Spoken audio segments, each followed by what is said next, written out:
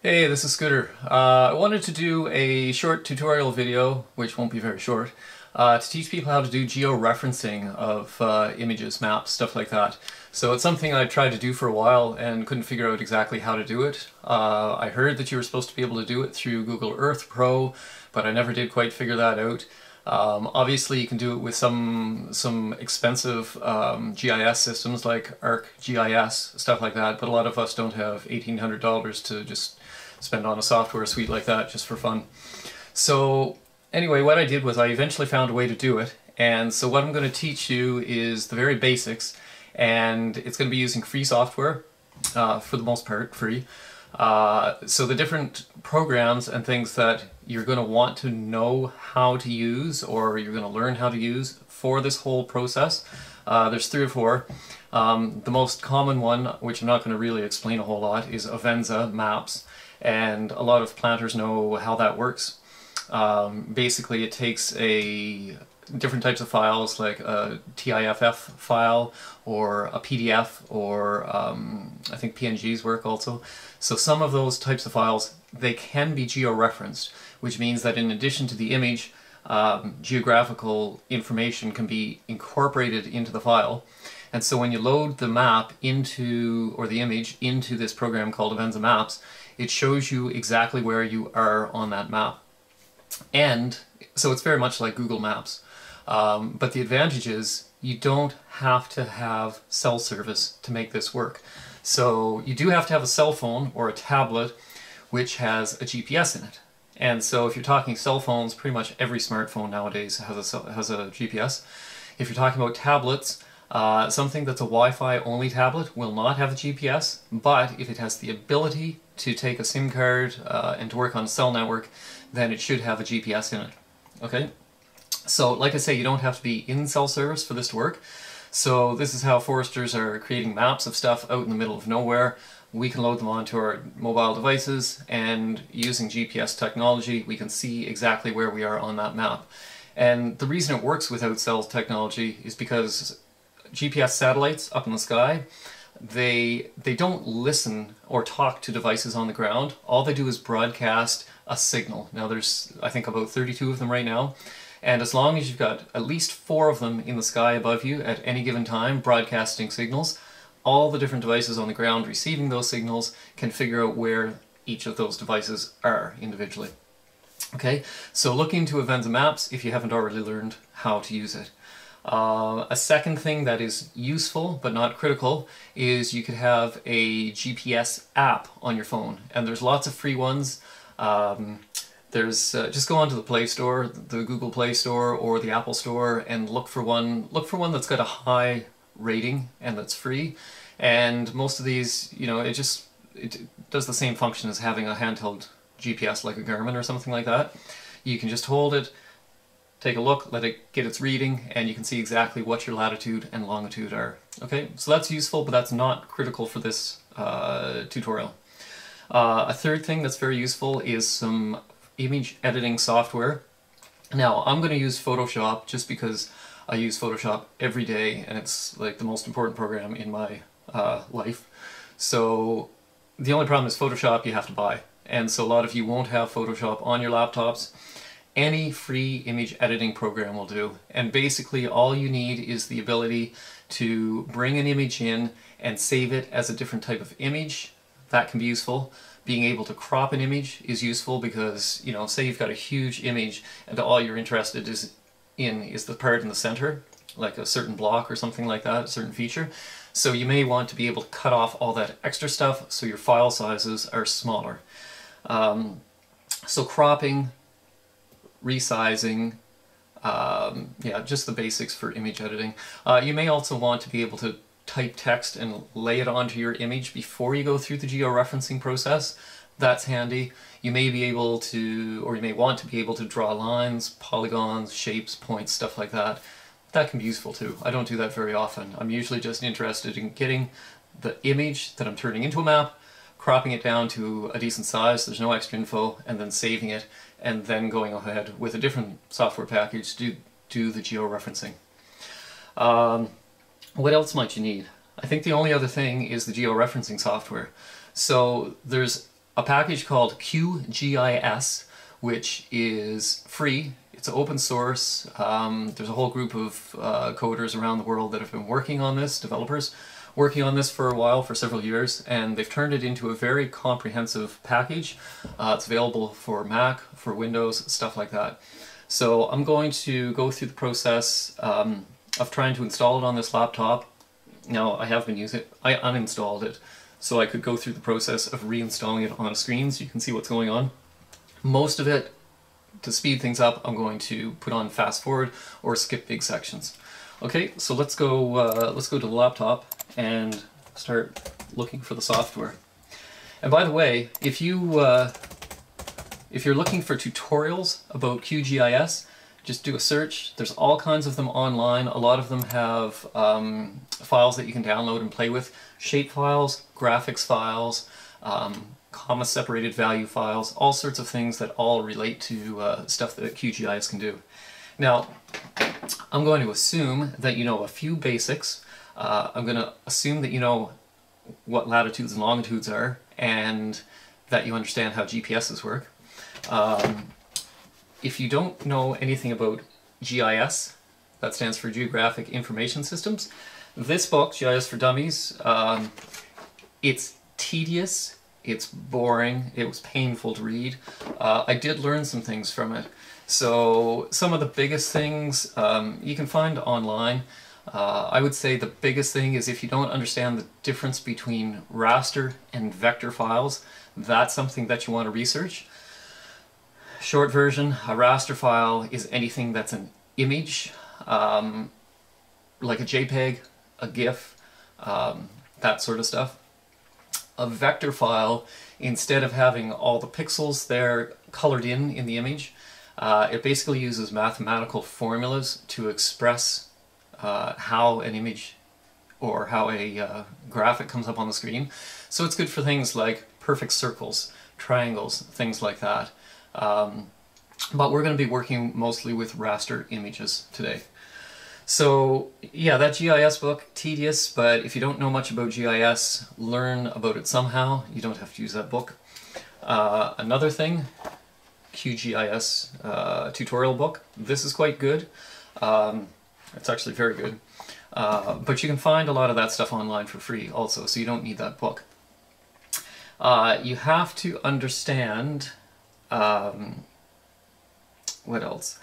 I think besides understanding GIS stuff, I think it's very important that you understand a fair amount about computers in general, like saving files, all that sort of stuff. Um, yeah. Anyway, let's go into uh, let's go into QGIS. So QGISproject.org. Uh, we're going to look for download now. I'm going for Windows. Yep, it knows I'm on Windows. Standalone version. Wait a sec. I'm not going to do that. I'm going to take the 64-bit. While this is downloading, let me explain one more thing that you definitely need to start learning to understand. And it's kind of complicated. Uh, I don't fully, I'm not fully comfortable with it myself. Uh, very confusing, but it basically relates to coordinate systems. And around the world, there are literally thousands of coordinate systems that have been used from, you know, five centuries ago up until the modern time, depending on what time period you're looking at, uh, where in the world you're looking at, um, the preferences of some of the local government officials, things like that. There's all kinds of different coordinate systems. And so basically these coordinate systems are often, often called uh, like uh, reference systems or datums. Um, within those systems, there's also variations called projections. And so basically, you have to know, whenever you're working with any coordinates, you have to know what system they're in. And quite often there's a whole bunch of different types of systems that are very similar, but they're not perfectly similar. So for example, I think there's a system called NAD uh, NAD 27, North American Datum 1927, something like that. That standard was updated in 1983 in the United States, and so all of a sudden a lot of people started using NAD 83. The difference between the two systems, like in, in one state, in New York, it might be that the new system, all the coordinates are 2 meters to the east and 10.4 meters to the south compared to the original system. So there's a lot of really weird stuff happening. So um, a couple of the systems that are really commonly used, WGS is a common one, and another one is the UTM system. Now, WGS, uh, latitudes and longitudes, a lot of you are familiar with that. Those are part of a WGS system, okay? UTMs uses a different thing where all the measurements are in meters. Um, let me show up a map of the world, okay? So you can see all these different numbers and then for each number you can go up or down to different letters. So for example, if I'm looking for something in Nova Scotia, I'm looking for number 20 and then up to T. So 20T is the grid, the UTM grid that I have to use if I'm doing work in Nova Scotia. If I use a grid like 13S and try to use coordinates from Nova Scotia, it's not going to work. It's going to give me something in Utah or some ridiculous place that's not applicable. Okay, so you do have to learn about datums, projections, um, reference systems, things like that. Specifically latitudes and longitudes and UTMs, both very helpful to know. One other thing that's very useful to know is how to convert between different types of latitude and longitude. So hopefully if you're familiar with the format of lats and longs. So it's degrees, minutes, seconds. Okay, the number of degrees around the world, you can only go up to 180. Okay, degrees, if you're looking at longitude, that's away from a central line that runs north-south um, approximately through Greenwich in England. Okay, as you're moving around the world to the east from Greenwich, the longitude lines are called east.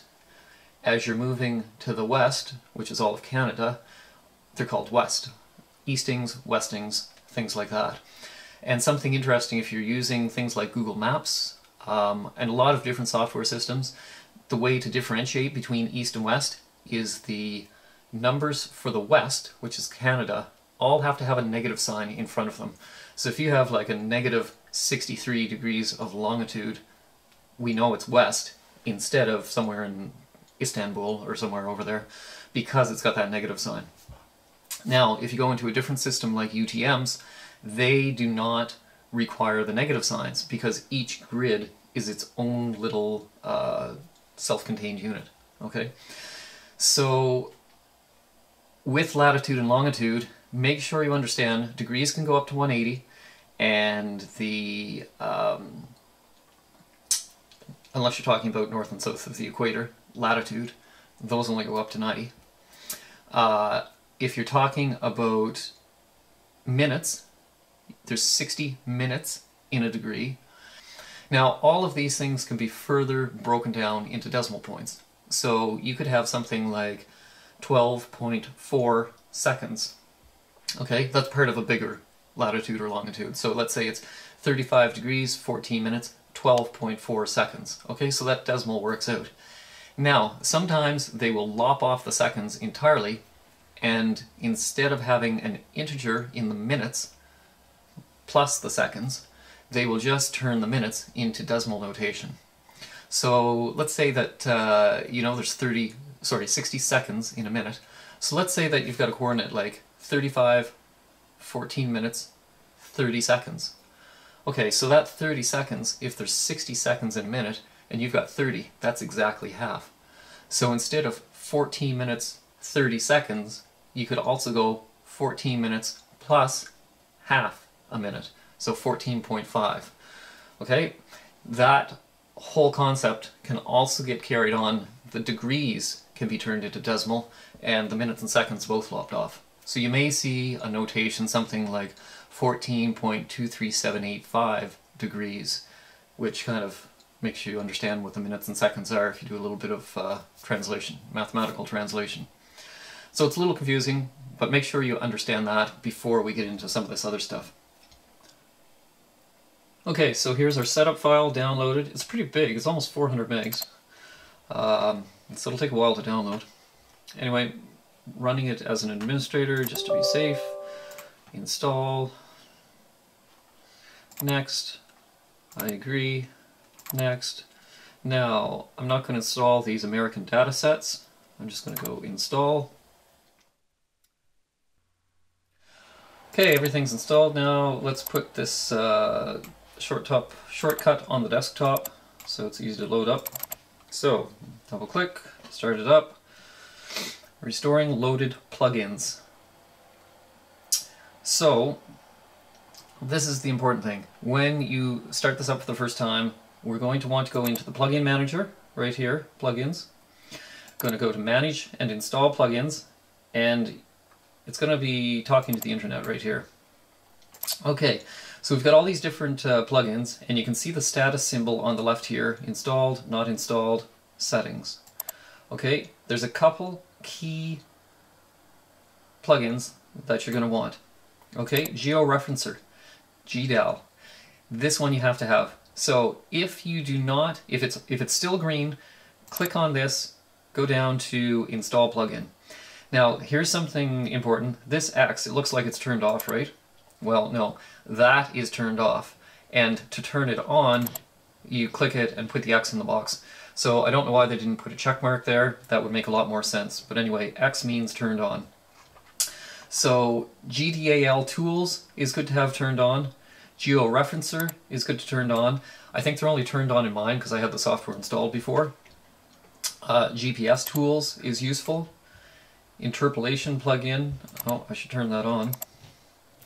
Uh, Meta Search Catalog Client, make sure it's turned on. Open Layers plugin, that's really quite important. And Oracle Spatial GeoRaster are useful. Processing, critical, that's got to be working. Quick Map Services, that's critical, that's got to be working. So the main three that, uh, that you absolutely have to have are processing, quick map services, and georeferencer GDAL. Make sure all three of those are set up. Okay. So what we're going to do, I'm going to go through two projects. First I'm going to create a map um, from Google Earth and I'm going to just do something in town and I'll do it from where I'm filming this right now so that I can go out afterwards and double check and make sure that it worked. Um, after that, I'll do something on a bigger scale, like say a, Nash, a national park or a provincial park or something like that. So if I was going hiking, I can put a map of the whole thing and show where I am within the park. So what we're going to do first is go to the web setting and we're going to go to Quick Map Services and you can see that there's a whole bunch of options here. When you first install QGIS, you're probably only going to have four or five options. This is not enough. Okay, you want more. So what you're going to do is you're going to go under Quick Map Services, you go down to Settings, and then this will pop up, and you go over to More Services, and then you're going to go Get Contributed Pack. And it's going to automatically get and download, and then you can save, close, and then when you open it up again, you're going to see this full list that you didn't see before. So that's important. So let's go with something that everyone's familiar with, Google. Uh, there's also things like Bing. Bing's got maps and satellite data, but we'll go with Google. We'll go to Google Satellite, and loads up. Okay, so I'm going to use my selection, my zoom tool, and I'm going to highlight, drag and drop, and there we've got Nova Scotia. I'm going to drag and drop again, and we're zooming in to a place called Truro, which is where I'm filming right now.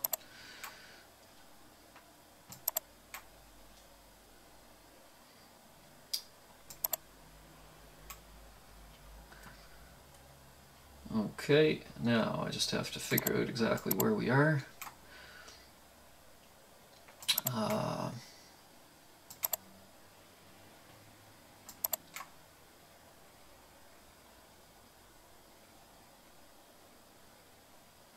Okay, I'm going to take the section of the map right here, this big square.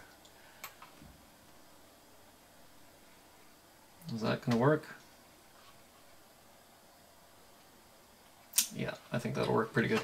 Okay, so that is the background map that I'm going to be using. Now because this is coming from the Google satellite data, this map, it's like basically having Google Earth opened up inside, or Google Maps, opened up inside QGIS. So this data is uh, the same as Google Earth or Maps. It has the lats and longs associated with it.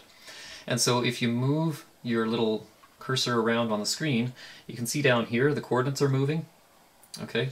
Now, what I want to do next is I'm going to create an image. And so the image is going to be the basis of my map.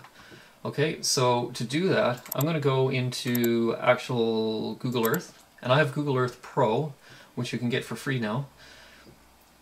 And so I'm going to pick an address within that square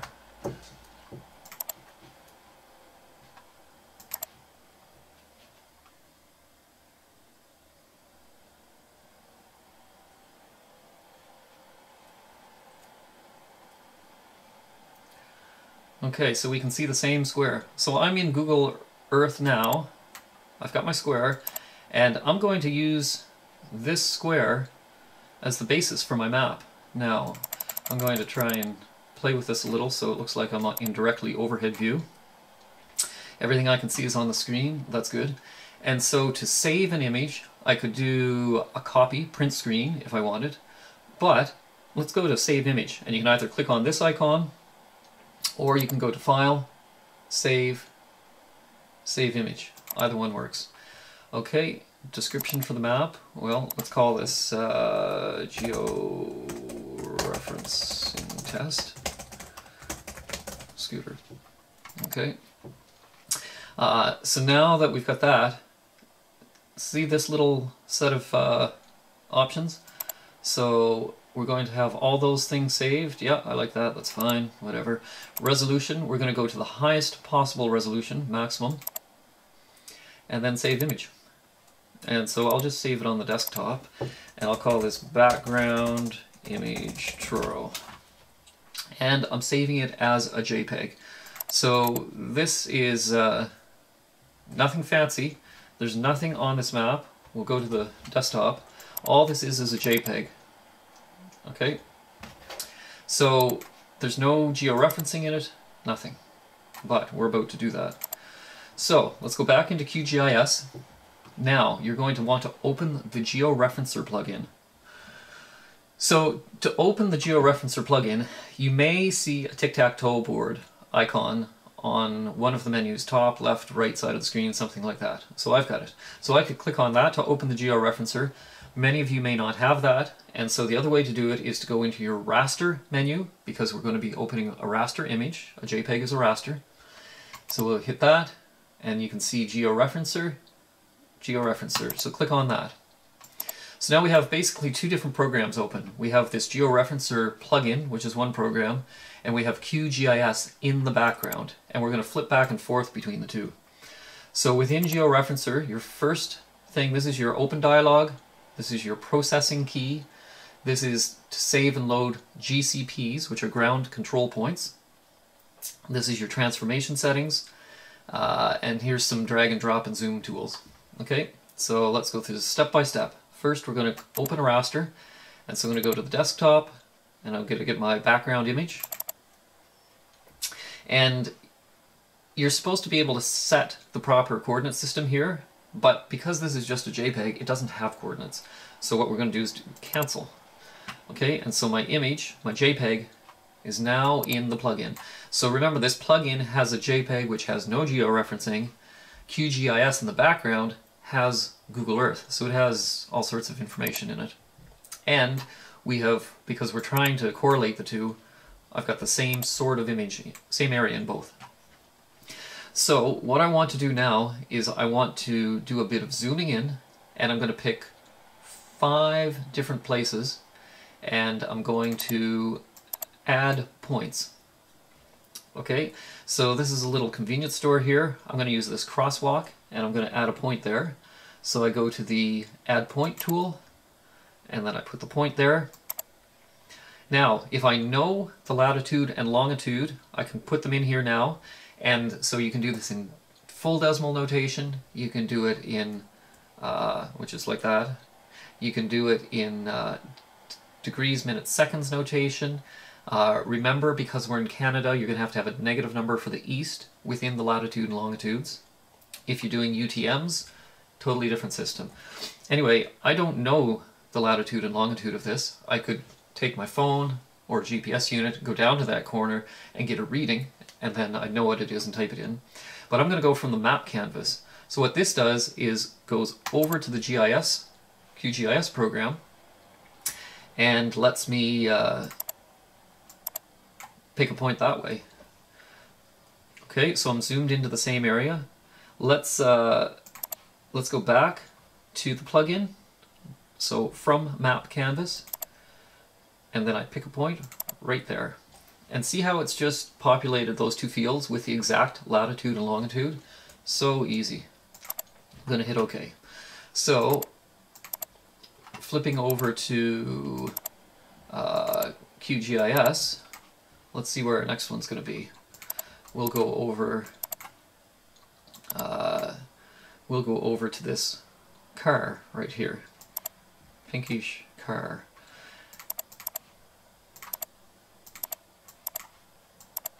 Okay, so that's where the point's going to be.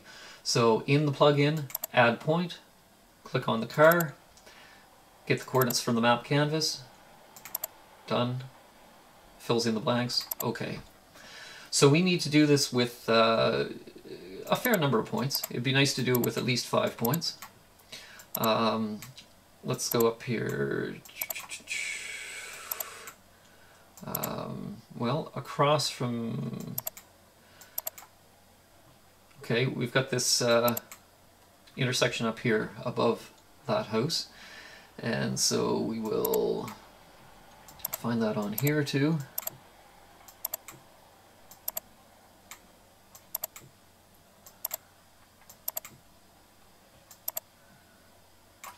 Okay, is that the same intersection? Yes, it is. Okay, so we're going to go to the plugin. We're going to press add point. We're going to pick the top of the stop line and then it's putting the coordinates. Okay, so we have to do this with two more things. Now, I'll zoom out a little bit, maybe it'll make more sense to you.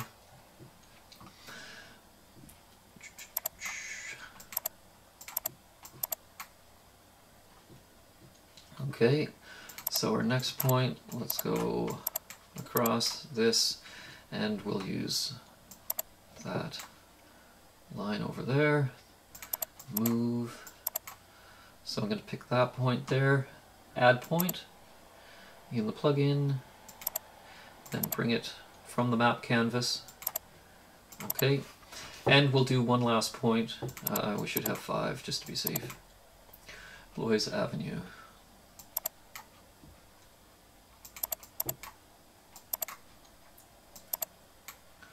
So within the plugin, Pick point.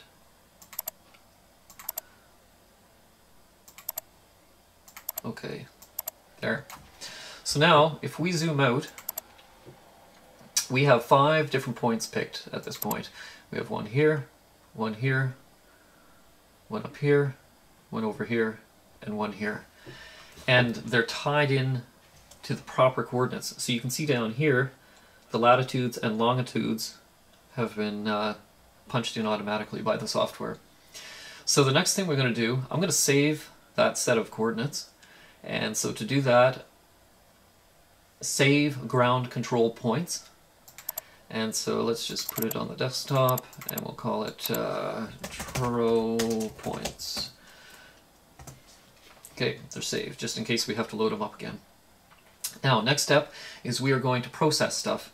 Now, if I start processing now without having gone into the settings, it's not going to work. It's going to say you need to set the settings. So watch. Please set transformation type. Okay, so there's a bunch of different choices here. And the best choices are polynomial 1, 2, or 3. You can only use polynomial 1 if you have 5 points or less. And since we only have 5 points, I'm going to have to pick that. If you have between 6 and 9 points, you can pick number 2, which is better. It works a little bit more uh, correctly, the algorithms, the math behind it. And if you've got at least 10 points identified, you can use polynomial 3, which works the best. So I certainly could have taken more time to add 10 points to make it work well, but for now let's go with polynomial 1. We've only used 5 points. Then you take your resampling method, and I've found so far that cubic seems to work the best. Okay, now the next thing is target SRS. So if you go back, well, we can't do that easily right now, but if you go back into QGIS, you can kind of see down at the bottom corner, we've got this EPSG number, 3857. Okay, that is the coordinate system, projections, datum, whatever, that Google Satellite is using right now. And so we want to do the same thing. So let's see if we've got that. We do, 3857. Now, if that wasn't up here as one of our choices, let's say that we were looking for 28640, well, I don't know, 20, 2961.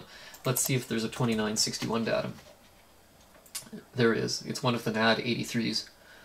Okay, so I could double click that, but, you know, that's not the right one. We don't want 2961, we want 3857 to match down here. Now, output raster. This is what we're going to have as our output map. So we're saving it to the desktop. I'm going to call this uh, Truro image georeferenced. Now, in our drop-down menu, our only choice is GeoTIFF. And I know with Avenza PDF maps, I'm very used to working with PDFs. All our foresters give us georeferenced PDFs, not GeoTIFFs.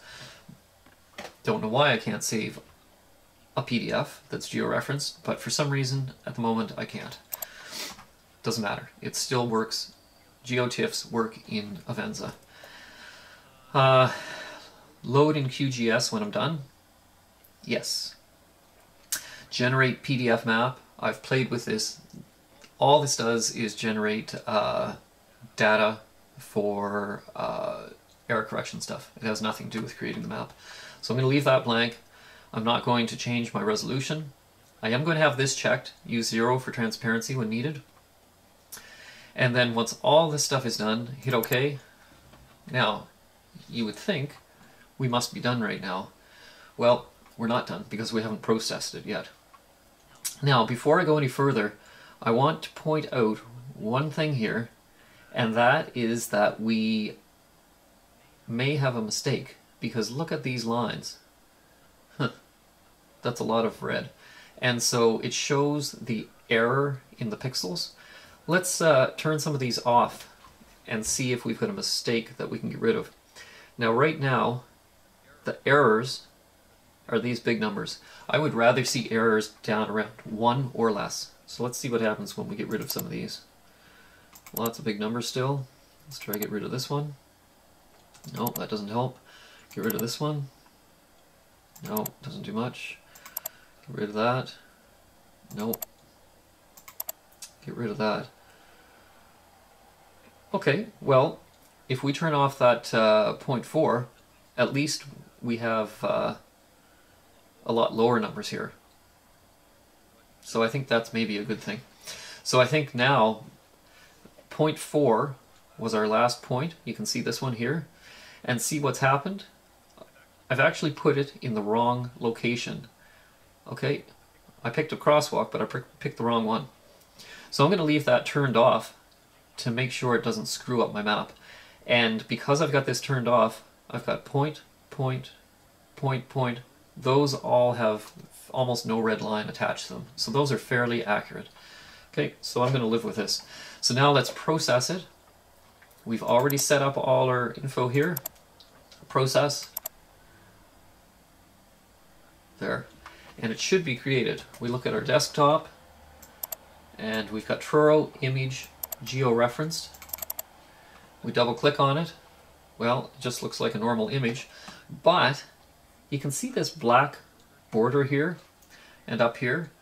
It's because the image has been warped a bit to uh, match reality with the georeferencing process. So let's try, uh, let's take that image, Truro image georeferenced. I'm going to drag it over to Dropbox. Uh, I guess I can't do that right now because the software is open. So we'll close the software. Project's good. We'll move that into Dropbox. And in the YouTube tutorial folder on Dropbox, I have Truro Image Georeference. Now that's pretty big, 41 megabytes. You know, images, once you start getting over 100 megs, some devices really have problems with them, so I wouldn't go much bigger than that. But anyway, this seems to be good.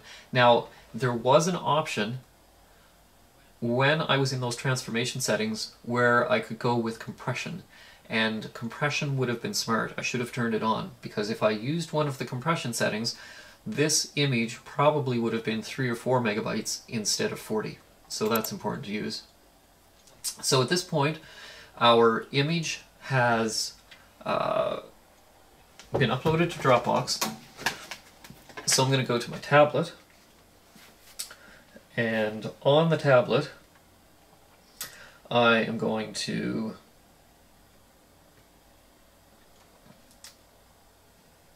Okay, so on the tablet, I'm going to go into Dropbox. And then I'm going to go to YouTube tutorial, Truro image georeferenced. Oops. I'm going to make this available offline, first of all.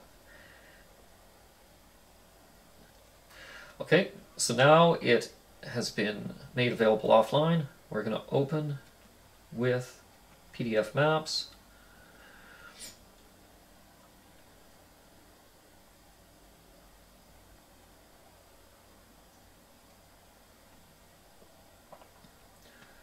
Get rid of these other maps. We don't need those. So Truro image georeferenced, now processing.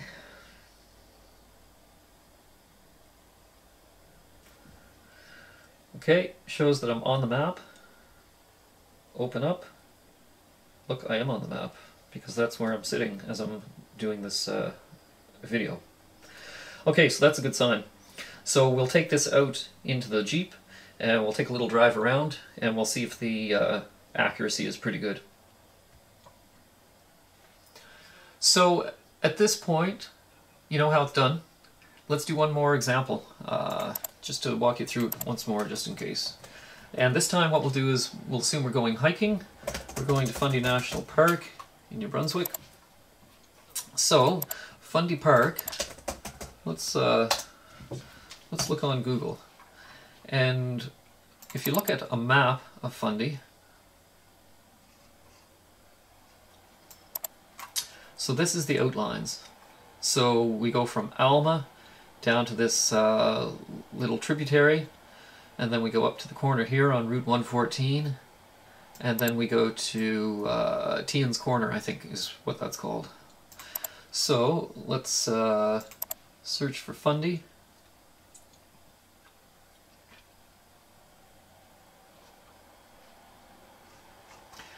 Okay, so here we have Fundy Park. Now, because we're in Google Earth, see I've lost my, my menus here, it's because this thing's open.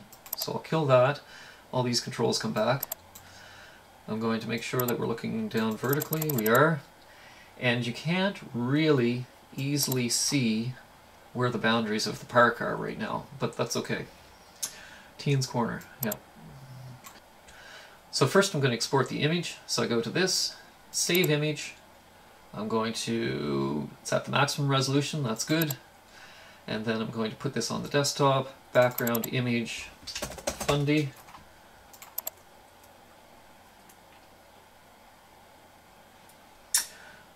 Okay, I shouldn't need Google Earth anymore. Okay, so once again, we're going to go to Web, Quick Map Services, Google, Google Satellite. We're going to go to zoom in on Fundy.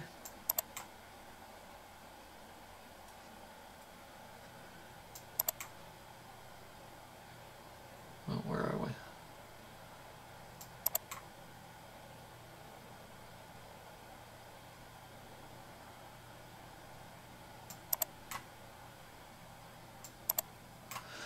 Okay, that's pretty good. So let's zoom in a little bit more.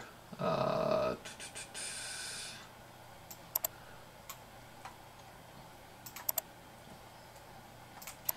we'll move up. Okay, so this point is one that's going to be useful to me in a minute. So we will load the georeferencer. Let's go to raster, georeferencer, georeferencer. We're going to import our background image background image fundy. Uh, we don't have a coordinate system in it yet, so we're going to hit cancel. We're going to uh, zoom in somewhat so we can be more accurate with our points. Okay, so that's where our first point is going to be. And can we see it on our satellite imagery?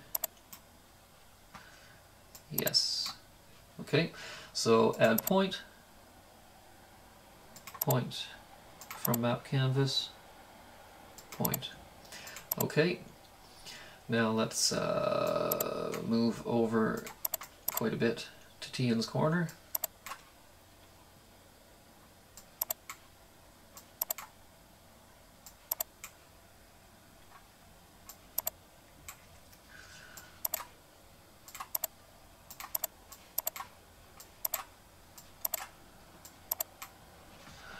Okay, so we're going to add a point right in the center there. I really should be zoomed in more, to be honest, if I want this to be accurate, but uh, you get the image, you get the idea of what I'm doing. And then from Tian's corner, let's go down to Alma.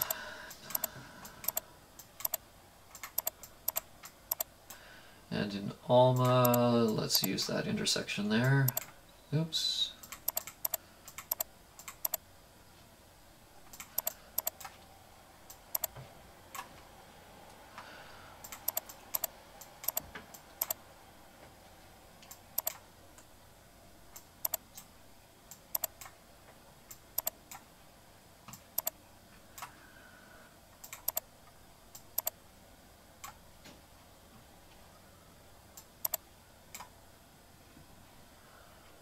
add point.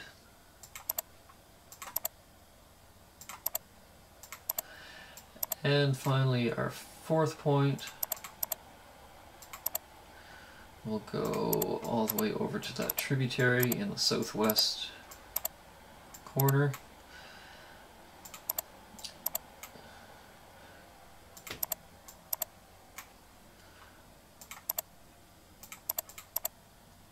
Oops zoomed out a little far there. Well, you can see my three dots quite well. My three ground control points, I should call them, not dots.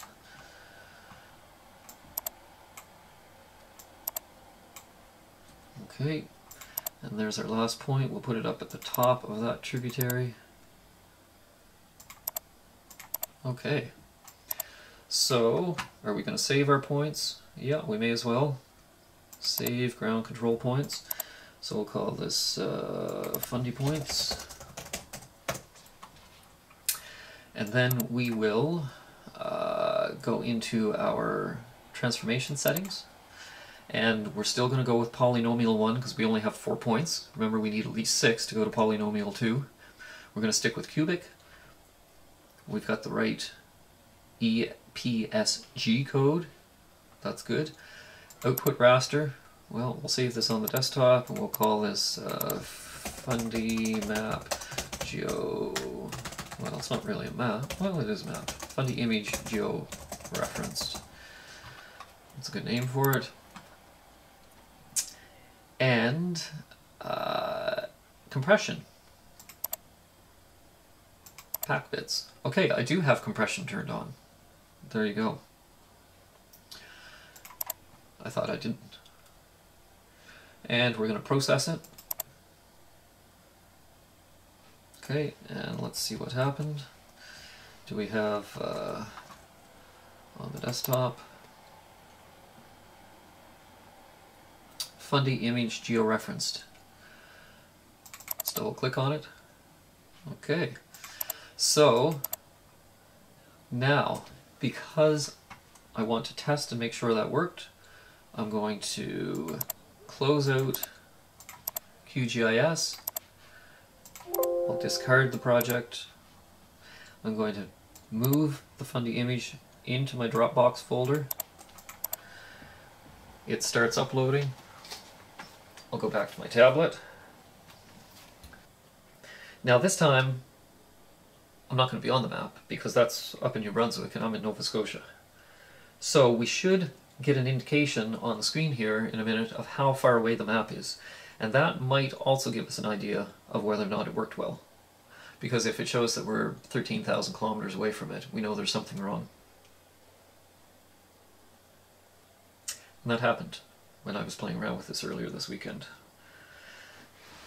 It's kind of a frustrating uh, bit of software to play with at the start until you start getting a little more comfortable with it. It's easy to make mistakes, especially with the projection systems, with the uh, datums, references. Yeah, very confusing.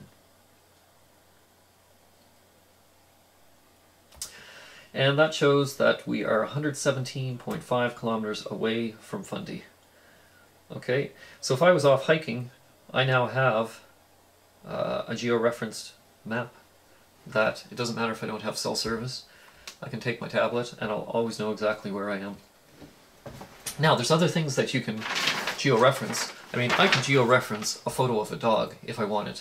Of course, it doesn't do any good because it makes no sense.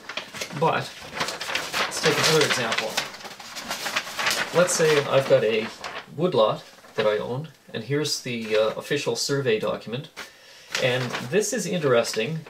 I'll put this up uh, close up on the screen, but it's got all these different points here, and these points have coordinates. And these are in northings and eastings. These are uh, New Brunswick grid coordinates. It's not the same WGS system that Google Earth is using. But you can punch in, I can scan this map, which I've already done actually, scan the map, bring that image into QGIS, and instead of doing that thing where I'm copying from satellite data, I can just manually click on each of these points and just manually enter the coordinates of those points and georeference the map that way. And so I did that, and it worked. Uh, you could also, depending what province you're in, there's different things like uh, New Brunswick has GeoNB, and that's a pretty cool site. It's got this map viewer thing, and so if you open up the map viewer, I can zoom in and I can find this parcel. So let's uh,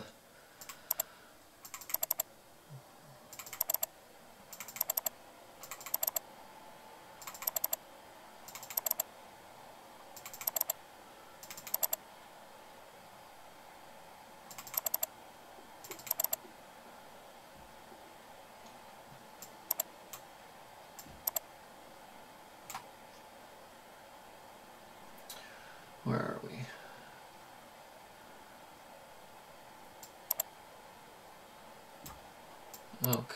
Right up here.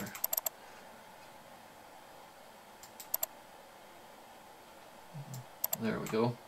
So this parcel right here, PID number 09 00904169, that is the same as this one. And so what I could do is I could zoom into this a little bit, and then I can, let's say that I want to use a little bit better background, so I'll use aerial background. Okay, yeah, I like that.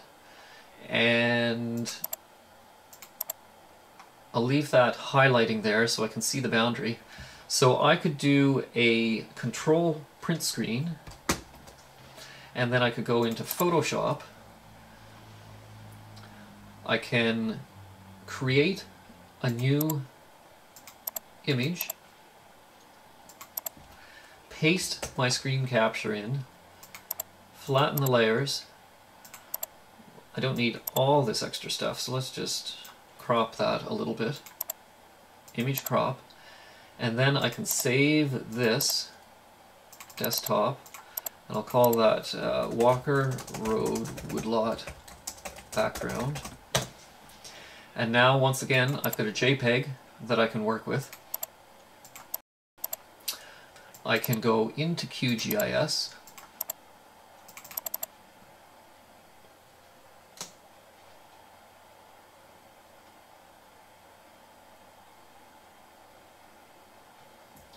I can open my georeferencer, import that image, walk Walker Road background, okay, and then for the points, instead of referencing something else, I can click on the point and then just manually punch in this information. So I'm at the top, top corner, so I would punch in the coordinates, point 310, northing and easting. And then I'd go on to the next one and punch in that one. And then I would go on and punch in that one, and so on. And eventually, I've got another georeference map. Uh, this one with the uh, from a different source other than Google Earth. Um, I also have, if you look at this, uh, so I did another one of the same thing. This is from Google Earth data from uh, just a few months ago, uh, back in the fall, and you can see all the all the leaves are turning on the hardwoods, and so that's why I picked that one. If you go into Google Earth, you can actually um, you can change the historical data. And so to do that uh, Road